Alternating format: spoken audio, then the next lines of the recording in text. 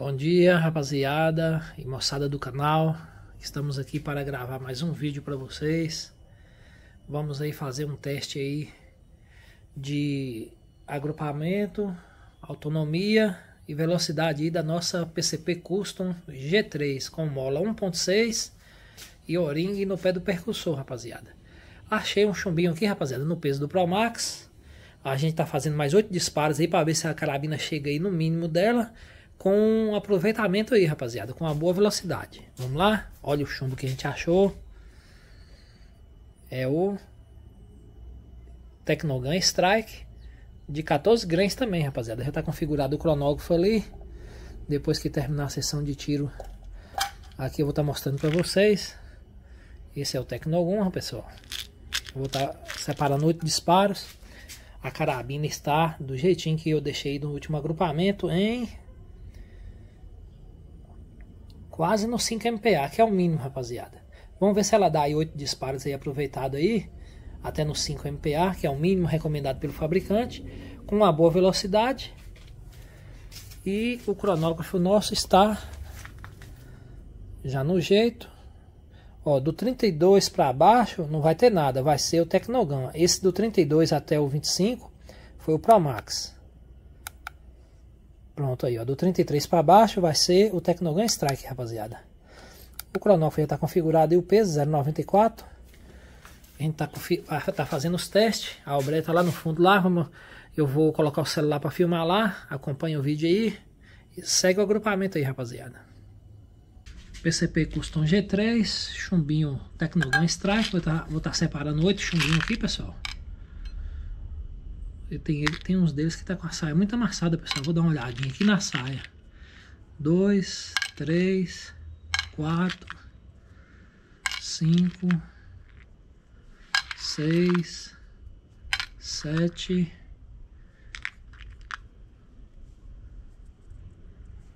oito. Deixa eu ver. Três, seis, sete, oito. Oito chumbinhos, pessoal. Oito chumbinhos. E a gente vai estar... Tá segue aí o agrupamento e vamos ver se vai dar bom, rapaziada. Lembrando que a carabina já está quase no mínimo, pessoal. E nisso aqui a gente faz um, vários vídeos aí já com autonomia, velocidade e os testes. Deixa eu ver lá, rapaziada, a obreia. Vixe, rapaziada, o negócio lá tá difícil pra mim, viu? Ficou escuro.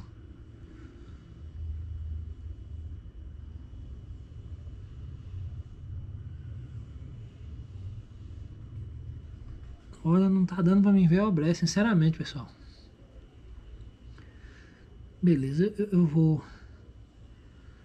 Eu vou caprichar aqui pra me saber onde que é a obré lá. É ali assim, ó. Tiro de red dot é complicado, né, pessoal? Sem zoom. As vistas meio devagar. Mas agora tem uma base ali que pegou pra baixo da obré e eu coloco ali um pouco pra cima.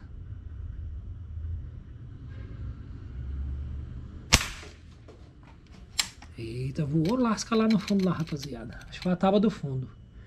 É, o chip tá forte, pessoal. Tá pegando e tá traçando. Pegando e traçando. É ali. Olha. Passando direto, rapaziada. Um MDF de 1,5 cm e meio. 15 milímetros. Sinal que, que o tiros tá bom.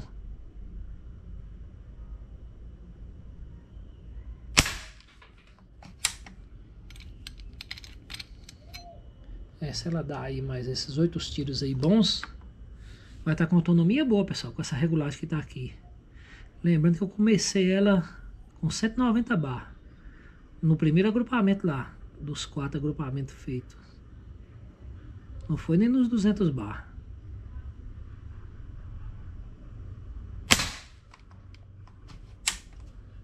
Vamos lá.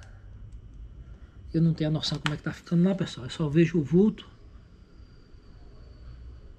Mas depois, na hora que chegar o monte aí, a gente tá testando ela aí com a lunetinha, rapaziada. Aí agora a gente tem a noção melhor. A gente tem a noção melhor aí dos disparos.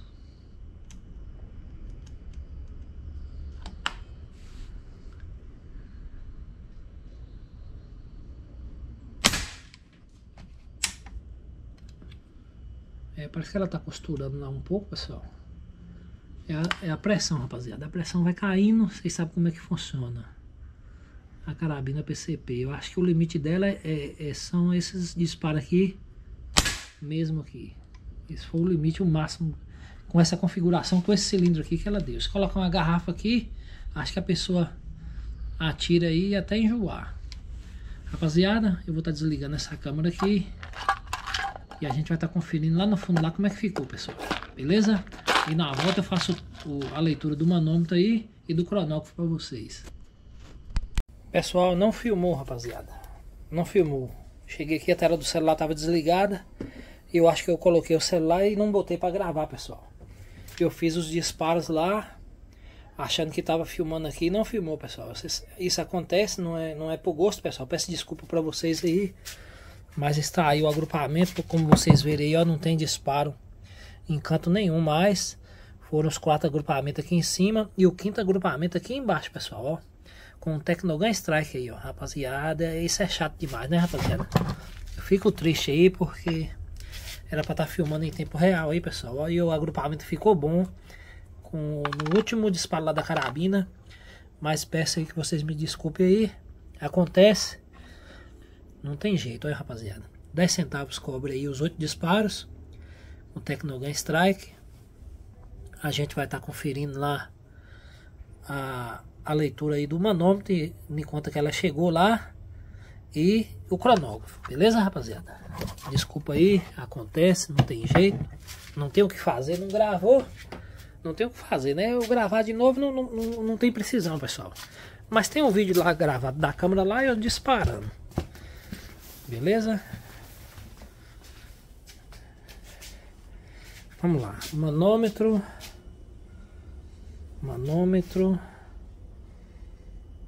É, rapaziada, um 5 MPa. Pronto, essa é a pressão mínima aí de, de que é recomendada. Quase no 5 MPa. Acima do 5 um pouquinho, pessoal. Sobrou. Foi, foi com, com, so, com mais, com que sobra aí. Beleza? Vamos estar tá conferindo ali o cronógrafo.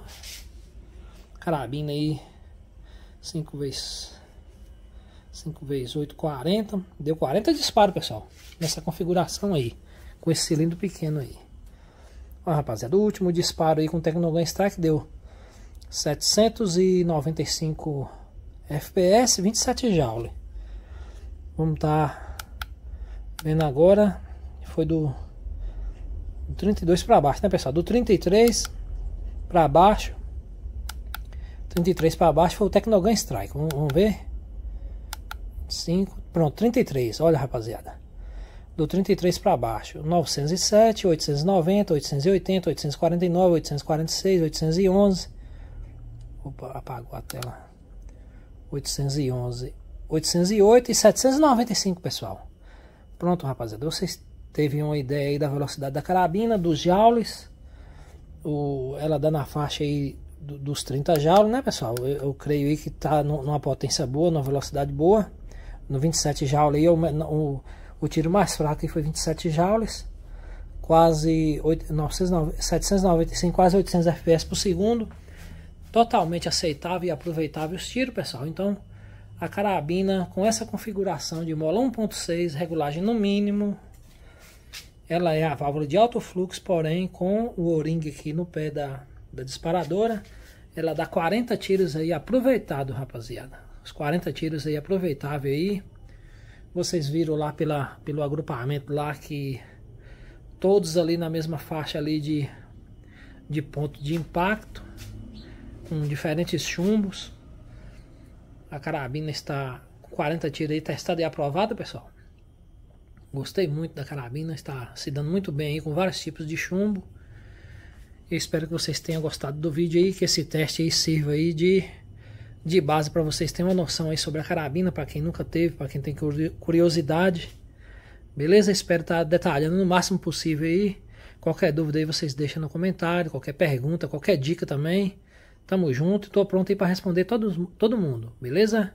Se inscreva no canal se não for inscrito, deixa o like, tamo junto e até o próximo vídeo.